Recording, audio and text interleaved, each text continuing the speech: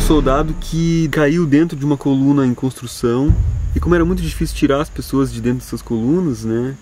Eles continuavam colocando concreto. E dizem, no viaduto 13, tem uma marca que é onde está o corpo do soldado concretado. E à noite, nesse dia, que é hoje, dá para ouvir gritos. E a gente vai passar a noite aqui. Uma péssima ideia.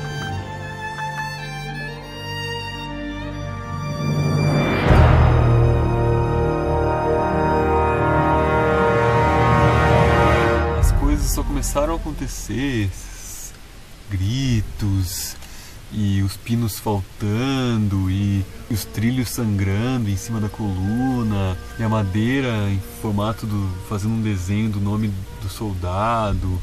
Que isso só começou a acontecer depois que a cidade virou Vespasiano Correia.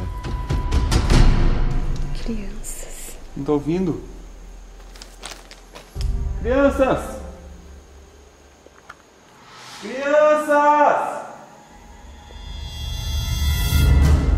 A história é que dentro de um dos túneis tem a lista de todos os soldados que morreram